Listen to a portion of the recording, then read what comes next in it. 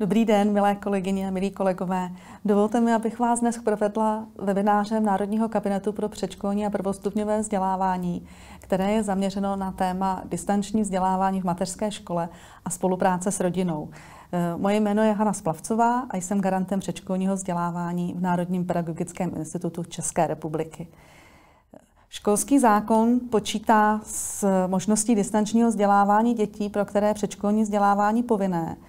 Co to ovšem znamená pro praxi mateřských škol a jak nejlépe podpořit rodiny těchto dětí, eh, to jsou, to jsou otázky, na které se eh, budeme snažit najít odpovědi a eh, přispět tak ředitelům a učitelům mateřských škol, možná i rodinám, k tomu, aby děti nebyly přetěžovány a rodiny ani učitelé stresováni. Tak věřím, že se mi to alespoň částečně podaří naplnit.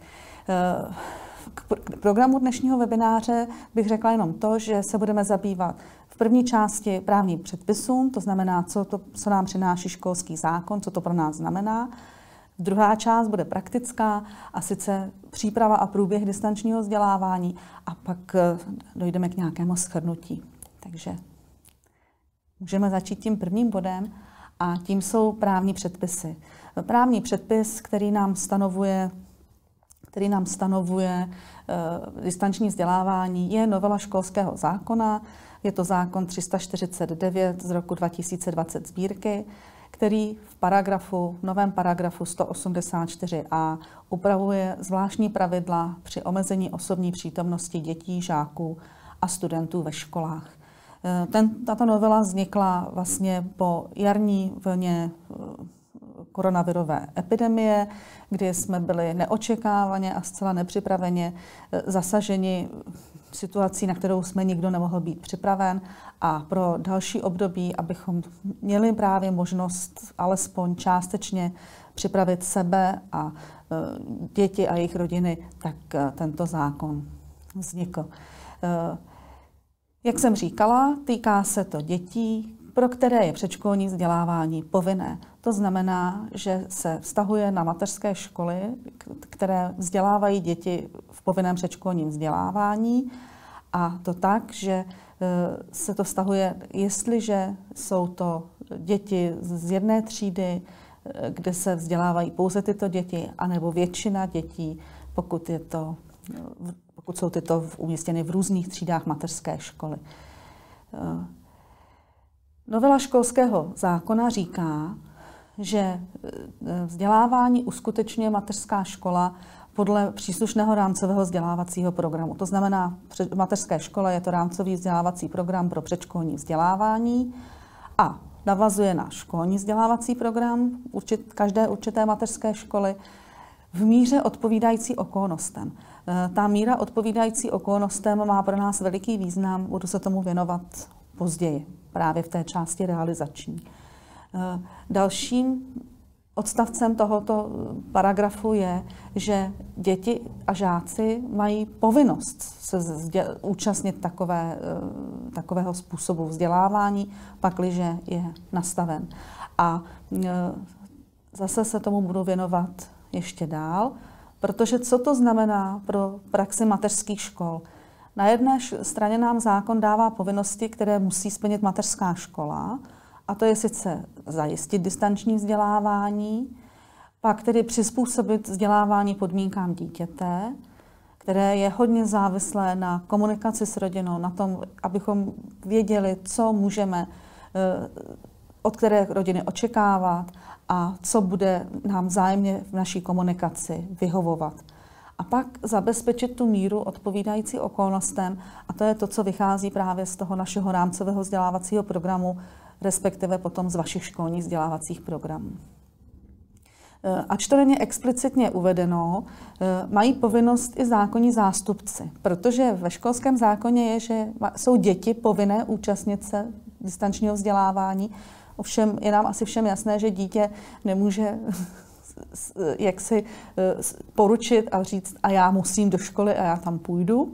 Eh, je to vždycky věcí rodičů, respektive zákonných zástupců, aby dítěti umožnili distanční vzdělávání, to znamená, aby si byli vědomi toho, že eh, se ta povinnost předškolního vzdělávání v případě nutnosti, v případě těch okolností, které jsou dány zákonem, přesouvá do distanční formy a e, musí pak ti zákonní zástupci nutně komunikovat s mateřskou školou. E, nyní už bych se ráda věnovala tomu, co to znamená pro e, mateřskou školu, pro přípravu mateřské školy na distanční vzdělávání a pak vlastní průběh. Já jsem pro tuto příležitost připravila několik videí, z nichž jedno si můžeme momentálně pustit a po jeho skončení si k tomu řekneme více.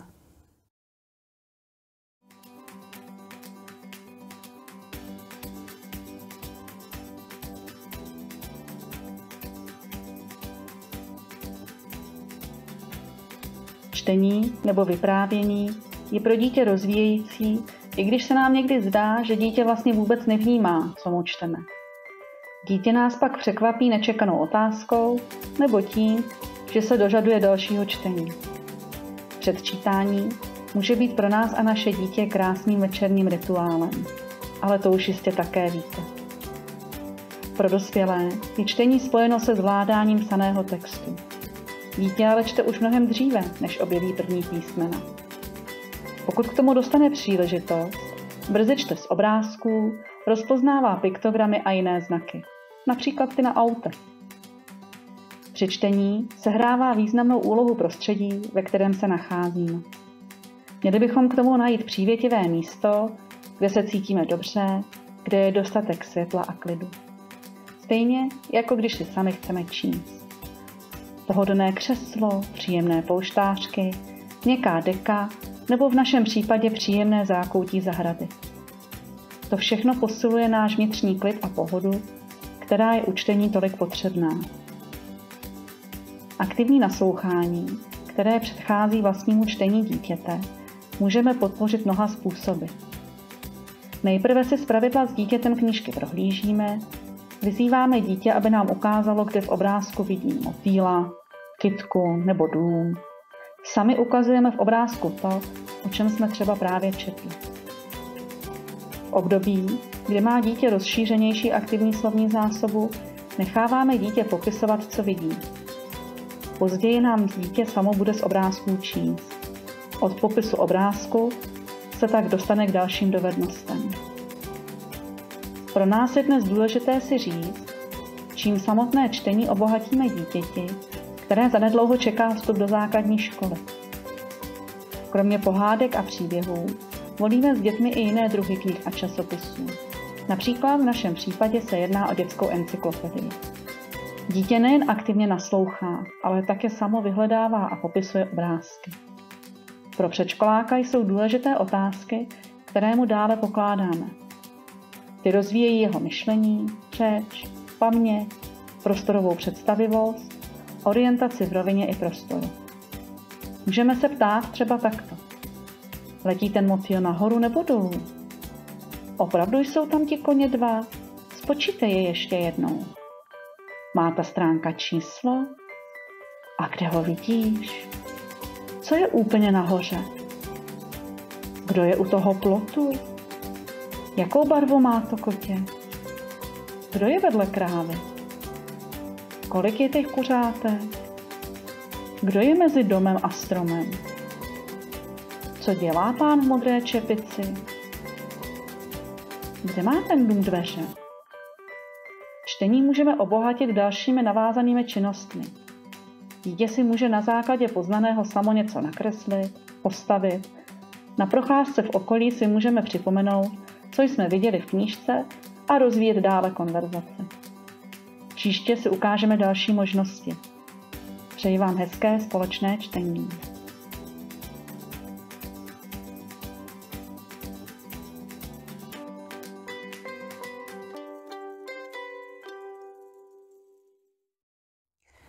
Viděli jste jedno z videí, které je v sérii, kterou jsem nazvala pracovně spolu. A ač je v názvu uvedeno i to, jak připravit předškoláka na vstup do první třídy, tak je ve všech těch videích patrno, že vlastně těmi snímky směřujeme k tomu, aby rodiče dopřáli a umožnili svým dětem eh, zapojit se do běžných činností doma i okolí eh, a aby si uvědomili, že mnoho pro vzdělání svých dětí dělají vlastně dostupnými a mm, zcela jednoduchými formami a není v tom, není v tom žádné násilí a žádná, eh, žádná od nich vlastně příprava, kterou by měli věnovat eh, navíc. Co znamená distanční vzdělávání? Eh, v tisku a vůbec v médiích dost často splývá distanční vzdělávání s online vzděláváním. Eh, což ovšem opravdu není pravda, protože online vzdělávání je jenom jednou z forem distančního vzdělávání. Eh, distanční vzdělávání má spoustu eh, možností, jak můžeme eh, děti vzdělávat a žáky a online forma je jenom jednou z mála z nich a musím říct, že zrovna v předškolním vzděláváním budeme tu online formu využívat minimálně některé mateřské školy třeba vůbec. Co znamená distanční vzdělávání pro mateřskou školu? Je to hodně o předávání informací a komunikace mezi mateřskou školou a rodinami dětí. Protože budeme vlastně dost často, převážně a někdy jen komunikovat s rodiči dětí, ne s dětmi samotnými. Naše příprava by měla spočívat v tom, že si zjistíme svoje možnosti a možnosti rodin už v okamžiku, kdy se připravujeme třeba na nový školní rok, a ne až v okamžiku potřeby. Eh, ta, eh, ten okamžik potřeby nás zastihl v loňském roce na jaře, ale tomu už právě teď v tuto chvíli bychom měli být schopni před, předejít. A to tím, eh, že si sami vyhodnotíme, jaké možnosti nám distanční vzdělávání nabízí a co je v našich silách vlastně v rámci toho uskutečňovat. Vidíte v prezentaci, že tam mám heslo společně. Měli bychom to právě dělat společně jednak v rámci našeho týmu v mateřské škole, protože každý z nás má jiné kompetence, jiné možnosti, eh, jiné zkušenosti, eh, tak bychom si měli dohromady určit vlastně, co, čím kdo z nás může eh, k distančnímu vzdělávání přispět. A také bychom si měli ujasnit možnosti využití moderních technologií, protože eh, ač eh, nedáváme přednost moderním technologiím eh, pro používání přímo dětmi, tomu se dnes věnovat nebudeme, ale jde nám o to, abychom věděli, jaké technologie jsme schopni my sami obhospodařovat a využívat je pro komunikaci a tedy pro distanční vzdělávání dětí. Eh, většinou je budeme používat k tomu, abychom mohli informovat rodiče, případně si s nima vyměňovat informace. To znamená, že máli mateřská škola svůj web, používá webové stránky, tak co je možné zveřejnit na webových stránkách? Eh, jestli máme s rodiči nastavenou mailovou komunikaci, eh, jestli máme na všechny rodiče třeba možnost komunikovat s nimi mailem, jak využíváme a jestli je to pro nás, eh, jestli je to pro nás eh, příjemné používat sociální sítě, protože je mnoho mateřských škol, které využívají, třeba mají uzavřené facebookové skupiny a různé jiné sociální sítě, tak eh, proč jich nevyužít? Na druhé straně by se neměly cítit mateřské školy, které eh, sociální sítě nepoužívají, eh, tak by se neměly cítit upozaděny a nebo být pod tlakem, že teď je tedy musím začít používat za každou cenu. Je to určitě dobré, je to vstřícné, ale není to nezbytné. Potřebujeme do té přípravy zapojit i rodiče právě proto, abychom zjistili, jaký způsob komunikace eh, rodiče preferují, anebo jaký vlastně je jim, jaký můžeme umožnit. Protože eh, jestliže bychom tuto informaci neměli, tak pak těžko se můžeme připravovat eh, a spadli bychom do toho zkrátka rovnýma nohama bez, bez přípravy.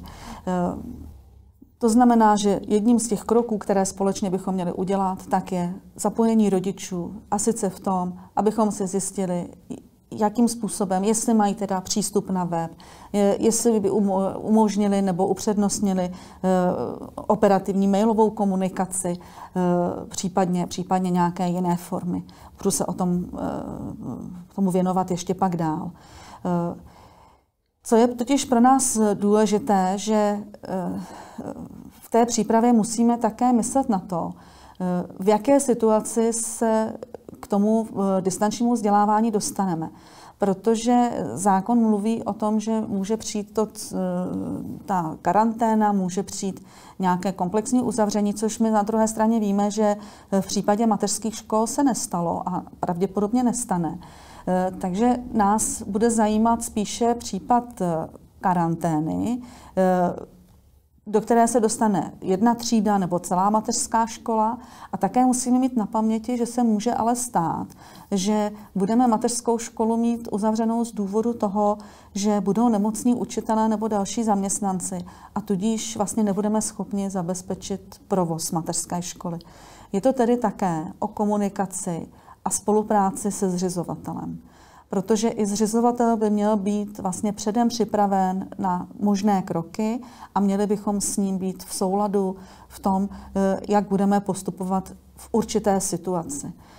Takže i tímto směrem by měla tedy naše příprava eh, být, protože eh, jestliže budeme v pozici, že my jako učitelé budeme nemocní, sami nemocní, budeme tedy, eh, budeme tedy v situaci, kdy nebudeme schopni dětem předávat aktuálně, být v komunikaci s rodiči aktuálně teď online, tak eh, aby vlastně eh, rodiny dětí měly možnost čerpat z nějakého jiného zdroje. A k tomu nám může právě výborně sloužit náš web.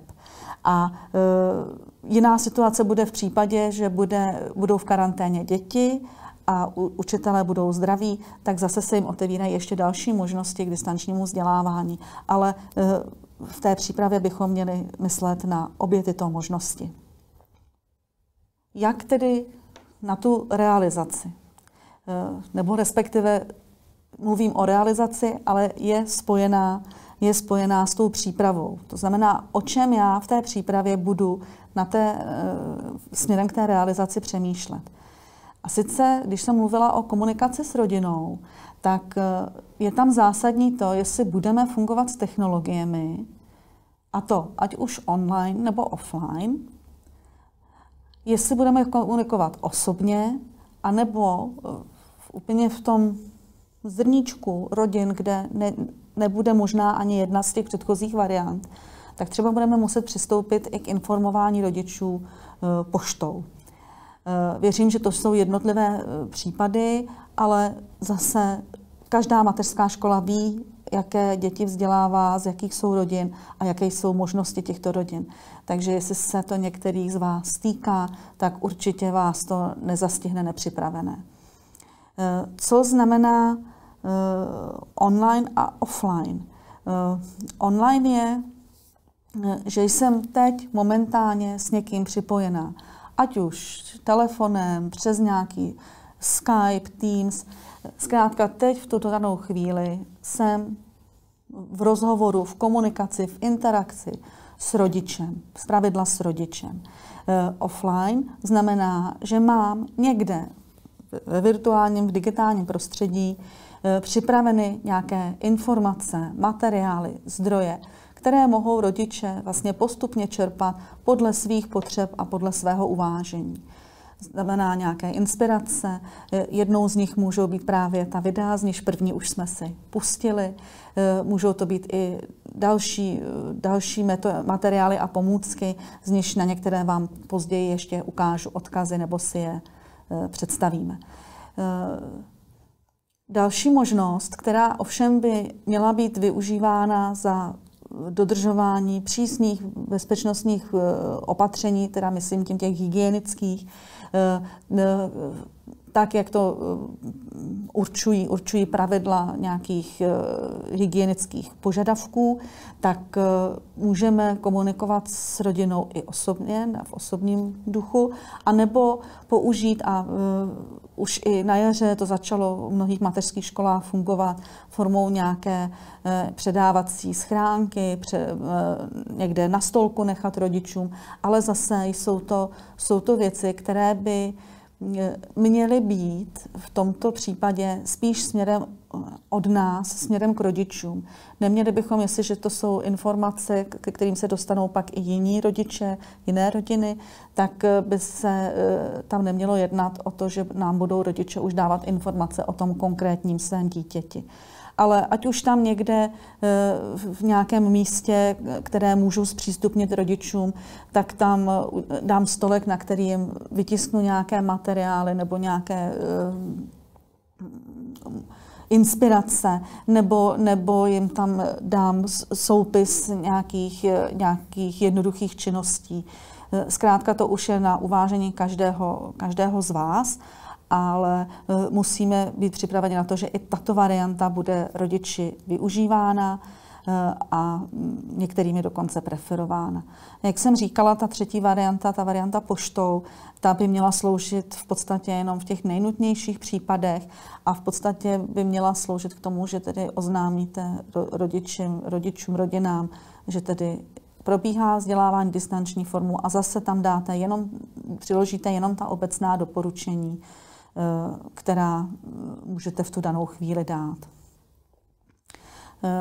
Eh, jak v tu danou chvíli budeme komunikovat s dětmi? Musíme si být vědomi, že budeme komunikovat převážně prostřednictvím rodiny. Že vlastně rodič se stane prostředníkem mezi námi a dětmi a přitom bychom si měli vždycky být vědomi toho, že rodič není učitel a bude se potýkat s mnoha dalšími eh, obtížemi, budou pracovat z domova, mohou mít doma dalšího školáka nebo, eh, a budou spíš potřebovat naší podporu. Eh, ale s dětmi tedy budeme komunikovat opravdu převážně prostřednictvím rodiny. Někdy dostáváme otázku, jestli s dětmi online ano nebo ne, a jak často a jak dlouho. Vzhledem ke specifikům předškolního vzdělávání a k nastavení dětí bychom opravdu měli velice silně zvážit, zda e, budeme s dětmi napřímo, jestli v nějakém omezeném čase a e, v omezeném intervalu budeme komunikovat s dětmi přímo. E, dokážeme si představit a víme, že to, že to některé mateřské školy uchopily velice skvěle. A sice uchopili ty online možnosti v tom, že tím udržují z, mezi dětmi sociální kontakt. To znamená, že v nějakých, uh, prostřednictvím nějakých aplikací, kteří, které umožňují uh, skupinové setkávání, tak vlastně se děti mohou pozdravit, mohou si vyzdílet zážitky, Eh, a v podstatě je to pro ty děti takové zpestření a radost a takové připomenutí toho, že aha, to jsou vlastně ti kamarádi eh, z mateřské školy. A eh, to je asi vlastně to, v jakých v tomto ohledu bychom mohli online prostředky použít i pro přímou komunikaci s dětmi. K čemu bychom ji ovšem nikdy neměli v mateřské škole používat, je k tomu, abychom prostřednictvím online vzdělávání používali k zadávání nebo plnění úkolů. E, protože neměli bychom vlastně e, podporovat to, aby děti seděly u e, počítačů a jiných zařízení a aby plnili úkoly, které mohou plnit daleko lépe, daleko jinými způsoby, tak abychom je od nich vyžadovali právě prostřednictvím online nástrojů a vůbec třeba prostřednictvím technologií. Tady vidíte už na fotkách, které jsem se snažila vybrat tak, aby tam byly věci, které jsou rodinám dostupné, které rodiny mohou mít doma. Myslím si, že v každé rodině jsou, je v každé domácnosti má dítě k dispozici nějakou stavebnici, ať už jsou to kostky nebo jiné stavebnice, Děti, pro děti je dostupná modelína a e, věřím, že se v každé domácnosti najde i něco, co mohou děti navlíkat. Já tedy mám sofistikovaně e, dřevěné korále, ale ony k tomu postačí i nastříhaná e, brčka, která mohou děti navlíkat na nějakou nit nebo, nebo drátek. A to už je zase úkolem nás v mateřských školách, abychom dětem ty inspirace přinášeli. V komunikaci s rodinou bychom vždycky měli být přiměření, přirození, srozumitelní. A hlavně měli bychom rodičům poskytovat zejména oporu. Jak jsem říkala, víme, že rodič z pravidla nemá na starosti jen to jedno konkrétní dítě, o které nám v tu chvíli jde, ale má spoustu dalších starostí a jestliže sám pracuje z domova, má doma eh, ještě další děti, které zase vyžadují jiné formy podpory, eh, můžou se starat o seniora, eh, zkrátka těch možností je celá řada, tak my bychom neměli rodinu a dítě ještě více a neúměrně zatěžovat. Naopak bychom měli rodiče do velké míry dokázat sklidnit a být jim oporou v případě, že se k nám obrátí o radu. Eh, protože předškolní vzdělávání i v té době povinného předškolního vzdělávání je zejména o socializaci, o vrůstání dítěte do společnosti, což samozřejmě v distančním vzdělávání do velké míry nemůžeme dítěti poskytnout. A vlastně všechny vzdělávací oblasti, tak jak je máme v rámcovém vzdělávacím programu nastaveny, tak eh, nás směřují k tomu, že děti vedeme vlastně přirozenými cestami, přirozenými činnostmi k cílům, které si určujeme. A v podstatě my můžeme podpořit rodiče v tom, aby mm, eh, ve své činnosti s dětmi, nebudeme říkat práci, ale eh, ve svém čase, který s dětmi tráví, tak aby preferovali přirozené činnosti, aby eh, měli činnosti, které jsou pro ně dostupné a realizovatelné. To znamená eh, předkládat rodičům příklad něčeho, na co potřebují sofistikovanou stavebnici nebo, nebo nějakou náročnou přípravu, eh, tak asi není úplně vhodné. Ale my víme, že okolo nás a okolo dětí je spousta příležitostí, eh, jak eh, děti zapojit do běžných činností, do mm, práce s běžnými předměty, s běžnými materiály. Když, když to úplně, když to úplně zjednoduším, eh, když dětem dáme k dispozici vodu, bláto, písek, kamínky, eh, dřívka, tak eh, vlastně tím uděláme velice moc. Na těch fotografiích jsem zase chtěla podpořit to, že ty činnosti jsou opravdu různorodé. Od toho, že dítě zapojíme do činností a práce v kuchyni, do toho, že od, přesto, že dětem dopřejeme dostatek volného pohybu venku a eh, pro, propojíme, propojíme ty běžné činnosti i s něčím, co eh, u čeho dítě musí nějakou chvíli se soustředit, zapojit, zapojit své kognitivní schopnosti, to znamená soustředit se, učit myslet, přemýšlet, tak to samozřejmě všechno v jednom balíčku můžeme rodičům doporučit. Co je také důležité, abychom rodiče uklidnili v tom, eh, aby své dítě nepřetěžovali, ale ani ho nepodceňovali. Protože mnohdy se setkáváme s tím, že no ale ještě na to malý a to ještě ne. A, ale my víme, že děti toho zvládnou hodně, pak, když k tomu dostanou příležitost. Takže opravdu bychom měli být tou bránou, která rodičům ukáže cestu k tomu, že děti leco zvládnou a e, nemáme je podceňovat, ale zase za na druhou stranu e, děti nepřetěžovat.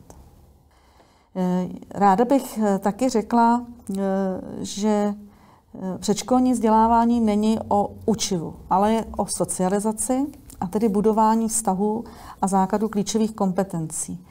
Děti se mají učit přemýšlet, řešit problémy, komunikovat, zapojovat se do společnosti.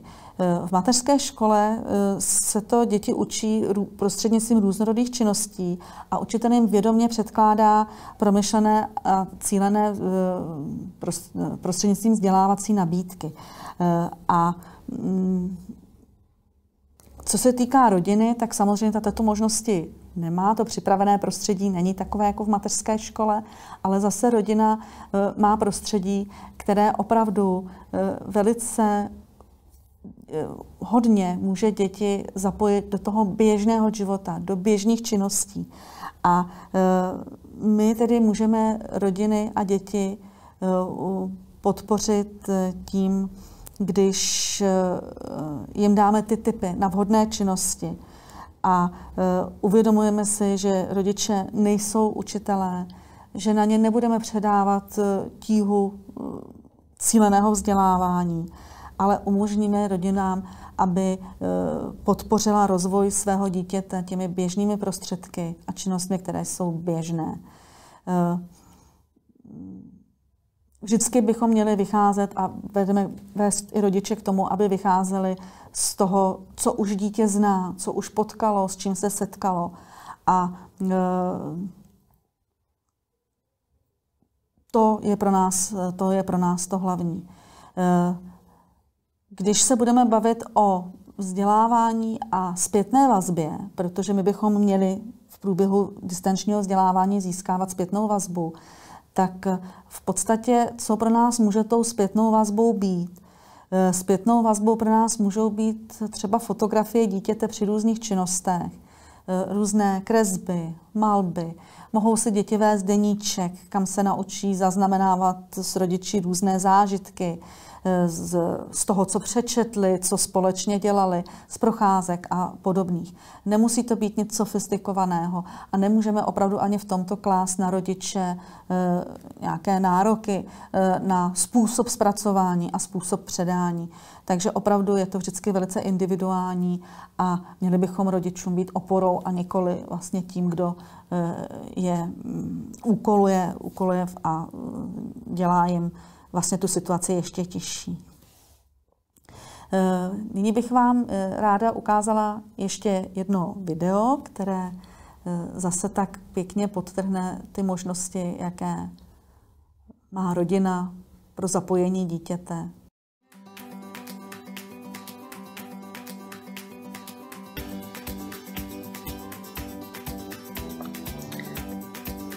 Milí rodiče, Jistě pro vás není nic nového zapojit své dítě do běžných činností. V záznamu vidíme, že už mnohem mladší dítě než je předškolák zvládne různé činnosti, pokud mu k tomu dáme příležitost.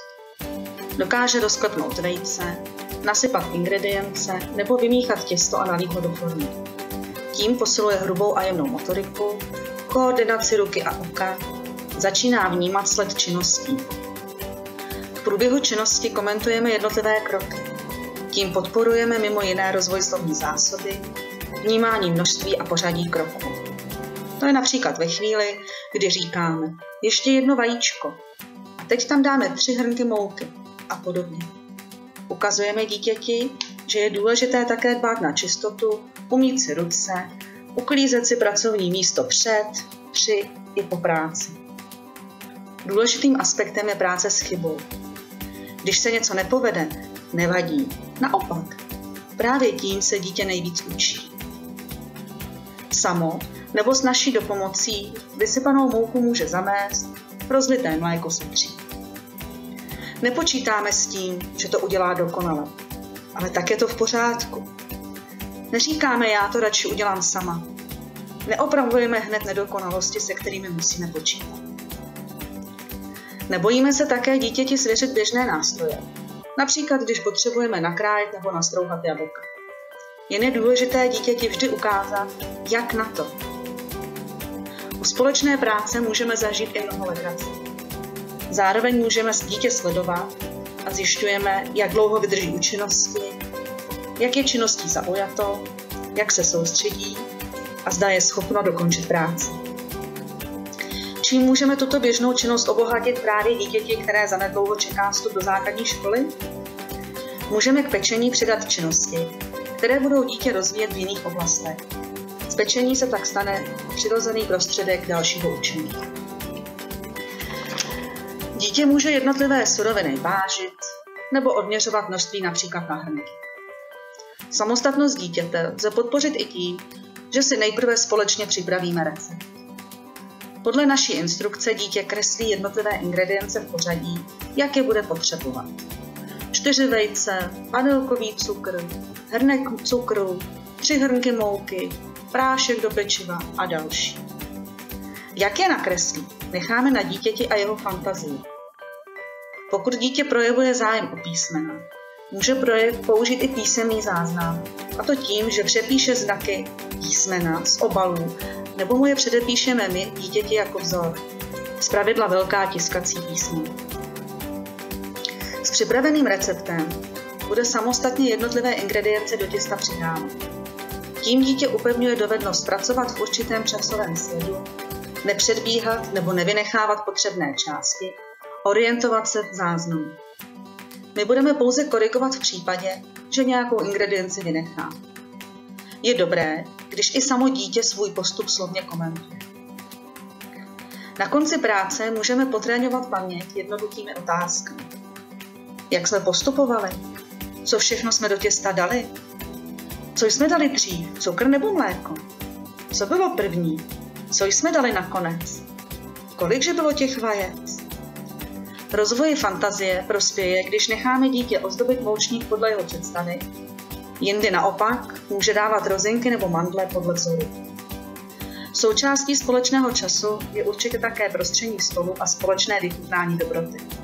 Celou práci nebo výsledek můžeme s dítětem zdokumentovat fotografií, kterou pošleme paní učitelce. Dobrou chuť!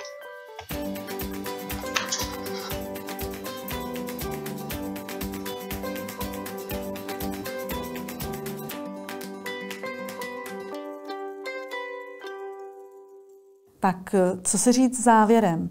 Eh, doporučení, která jsme si tady dnes řekli a která vlastně následně ještě si trošku okomentujeme na následujícím slajdu, tak eh, mohou být využitelná nejen pro distanční vzdělávání, ale mohou být užitečná pro spolupráci s rodinou všeobecně. To znamená, mohou nás podpořit tam, kde jsme si nebyli ve spolupráci s rodinou jistí, kde jsme nevěděli, eh, jak tu komunikaci začít. Neměli jsme to správné téma, eh, kterým bychom eh, rodiče eh, v té komunikaci podpořili. A toto právě pro nás může být tím společným tématem, které nás zbaví toho původní, prvotního ostychu a bude, bude se nám s rodiči komunikovat mnoho, mnohem lépe. Mnohdy máme potřebu rodičům něco sdělit, a přitom víme, že bychom se měli, nebo ne měli, ale musíme se vyvarovat eh, nevyžádaným radám. Protože není nic horšího, než dávat komukoliv nevyžádanou radu. A e, vlastně pokud se naučíme pracovat e, s, tímto způsobem, s používáním těchto různých typů materiálů, které pro vás připravuje nejen Národní pedagogický institut, ale určitě i další organizace, kriticky vyhodnocovat jejich přínos, protože právě opravdu tu inspiraci můžete najít Eh, let kde a samozřejmě i ta kvalita těch různých zdrojů je různá. Takže my bychom se měli soustředit na to, abychom dokázali kriticky posoudit, eh, co vlastně předáme těm rodičům dál, co jim doporučíme. Eh, Můžeme jim potom předávat ty informace tím, že jim předáme zajímavé odkazy, poukážeme na důležitá témata, která e, nás e, tíží, ať už v obecné rovině, anebo když to jde za konkrétním dítětem. Ale v podstatě, když se naučíme komunikovat takto a třeba dávat e, i nějaké inspirace na web, tak my tím můžeme cílit na určitého rodiče, určité dítě, ale ty informace tam můžou vyset v té obecnější formě a já pak už můžu jenom následně vyzvat toho rodiče, jestli už měl čas si toto prohlédnout a že si myslíme, že by to pro něj mohlo být zajímavé. A už je to, už je to zase o něčem jiném, než eh, vlastně na toho rodiče spustit z hurta anebo mu dávat eh, tu radu, kterou si, kterou si nevyžádal. Eh, Když budeme chtít předávat dokumenty k, ke shlédnutí rodičům, tak bychom také měli určitě Eh, se zaměřit na jejich srozumitelnost. Protože eh, jedna věc je obsah, to znamená to sdělení, co tomu chceme říct, a druhá je také ta forma. Protože eh, jestliže je ten materiál určený opravdu učitelům a ředitelům mateřských škol nebo třeba jiným typům škol, tak to může být natolik odborné, že by se v tom rodič neorientoval ale existuje spousta populárně naučných eh, materiálů, ať už eh, ve videoformě nebo ve formě psaného textu, eh, které opravdu mohou prospět. A naší, naší otázkou by vždycky mělo být, jestli to opravdu prospěje dětem a jejich rozvoji.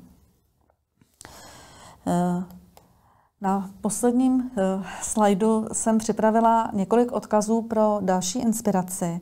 A u toho bych se také eh, chvíli eh, zastavila.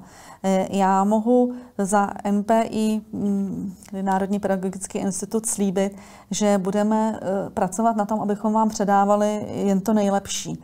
A v tuto chvíli je takovým místem Digifolio inspirace pro předškolní vzdělávání, kde tedy tu úvodní, ten úvodní obrázek je právě z této stránky. Není tam těch informací mnoho, Eh, ale zároveň eh, zároveň nebude nabývat závratným tempem, protože náš tým eh, není veliký. Ale můžete se spolehnout na to, že to, co, tam, to, co se tam objeví, tak za to ručíme a jsme si naprosto vědomi kvality těch materiálů, které tam, které tam uveřejňujeme. Eh, nejsou to vždycky materiály, které bychom sami připravovali, někdy jsou to materiály i převzaté, ale do značné míry to právě budou eh, materiály, na kterých jsme sami spolupracovali, tedy v našem týmu v Národním pedagogickém institutu, případně v projektech, které eh, Národní pedagogický institut zastřešuje. Když najdeme postupem času místo jako na jiném úložišti, připravuje se nový web Národního pedagogického institutu, tak se může stát, že se e, tyto stránky e, přeformulují a přetransformujeme se do jiné podoby, ale to bych předbíhala době, nemůžu v tuto chvíli slíbit. Nehledejte na těchto stránkách nějaké návody, kuchařky a přesné instrukce, protože každý jsme jiný a potřebujeme něco trochu jiného. A e, úkolem nás v Národním pedagogickém institutu je dá ty jednot, ta jednotlivá témata zastřešovat a dávat to, e, co je podstatné a zásadní a do jisté míry zobecnitelné. E, a já bych vás tímto třeba i chtěla vyzvat, pokud budete mít nějaký podnět, potřebu tak když se na nás obrátíte, určitě se tím budeme zabývat a e, vyhodnotíme, jaká forma podpory by právě té konkrétní potřeby vaší e, mohla vyhovovat a jakou vám nabídneme. A e, Může se stát, že třeba na základě nějakého vašeho podnětu právě připravíme nějaký další materiál, který by pomohl nejenom vám konkrétně, ale i dalším tazatelům. Eh, co se týká toho dnešního webináře, tak eh, mezi, mezi těmi odkazy najdete odkaz na materiál, který jsme připravili právě pro podporu distančního vzdělávání. Eh, hodně z toho, co jsem vám dnes tady se snažila přetlumočit, tak bylo vlastně sepsáno v tomto materiálu. A můžete některé části třeba využít i pro komunikaci s rodiči. Eh, já jsem se v tom materiálu, když jsem ho připravovala, eh, snažila vypíchnout několik témat nebo několik informací, které by bylo žádoucí, abyste rodičům pro případ distančního vzdělávání a vlastně nejen pro něj, protože jsou to obecná doporučení, kterými se mohou rodiče inspirovat právě i u dětí mladších, anebo i u těch dětí v povinném předškolním vzdělávání v době, kdy eh, chodí děti do mateřské školy, eh, tak eh, jsou to věci, které mohou rodičům hodně pomoci v rozvoji jejich dětí. Jednou z nich je určitě soustředěná pozornost. To znamená, aby si rodiče dokázali v té každodennosti a v tom každodenním zápřehu najít chvilku na své dítě, kdy budou věnovat pozornost právě jenom jemu, kdy budou opravdu jenom rodič a dítě a nic okolo. Žádné jiné povinnosti. Jsme tu jen my dva, případně tři, čtyři, protože samozřejmě může být zapojená maminka, tatínek a i e, další děti, nejenom jedno, jedno konkrétní dítě. To záleží na té konkrétní rodině. Ale zkrátka je to čas, který je věnován těm dětem. E, ten čas nemusí být nutně vždycky, že tak a teď si jdeme spolu hrát, že k tomu jako máme někdy jako rodiče sklony, že máme pocit, že ten dobře věnovaný čas dětem je ten, kdy si s nima zrovna hrajeme. Ale eh, ono to nemusí být při hře dítěte, ale dítě vnímá jako hru i to, když eh, nám pomáhá v našich denních činnostech. Takže eh, jestliže pomůžeme dítěti zvládat s námi běžné denní úkony, na které třeba upozorňují i právě ta některá z připravených videí. Eh, to znamená, když s náma dítě upeče zákusek, uvaří večeři, eh, když nám pomůže pověsit prádlo, eh, když bude třídit ponožky, párovat ponožky, tak to jsou všechno věci, které, které ho velice posunou k té připravenosti a k tomu plynulému přechodu eh, do základního vzdělávání, přestože, přestože eh, jsou to činnosti, které jsou pro děti naprosto přirozené. Eh, jak už jsem říkala, také ta, zmínit rodičům tu důvěru, aby věděli, že jejich dítě leco zvládne, když tomu dostane příležitost. To znamená dávat dětem příležitosti k tomu, aby mohli sami si ověřit, co zvládnou a dokážou.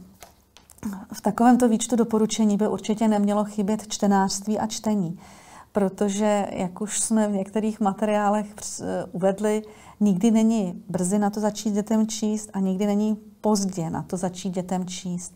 Takže čas strávený s knížkou, eh, kdy dítě je, eh, se stává eh, posluchačem, aktivním posluchačem, kdy víme, že vnímá to, co mu říkáme, nebo budeme prohlížet knížku a vybízet dítě k aktivitě, aby nám popisovalo, co vidí na ilustraci, eh, co se tam odehrává za něj, jaké postavy nebo zvířata, rostliny, co zkrátka může z obrázku vyčíst, tak eh, všechny tyto formy jsou předškolním vzdělávání vítány a eh, pro rodiče by to měla být vlastně přirozenost. No a také, aby rodiče eh, dbali na pohyb dítěte. To znamená, aby dopřávali eh, dětem dostatek volného pohybu, protože bez pohybu není myšlení. A jestliže chceme, aby děti se učili myslet, musíme je učit se pohybovat a hýbat. Zase je to něco, co je pro děti přirozené a eh, na nás je jenom, abychom jim tomu dali příležitost a podporu.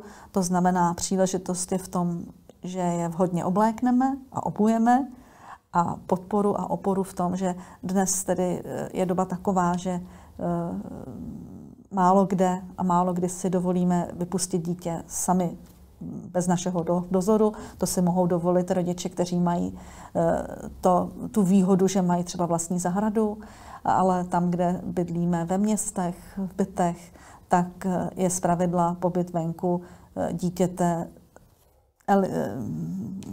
ovlivněn tím, jestli jsme my nebo někdo z našeho okolí eh, schopen a ochoten s dětmi ten čas venku trávit. Zkrátka být tam jako ten dohled nad dětskou hrou. No a také eh, by neměli rodiče opomíjet dostupné hry, příležitostně hry z pravidly, na kterých se děti učí dodržovat další pravidla, kromě těch základních, jako je pozdravit, poprosit a poděkovat. Eh, to je dnes ode mě všechno. Eh, věřím, že jste našli v dnešním webináři alespoň nějakou inspiraci a bude se vám v práci s dětmi a jejich rodinami dařit. Mějte se moc hezky. Naschledanou.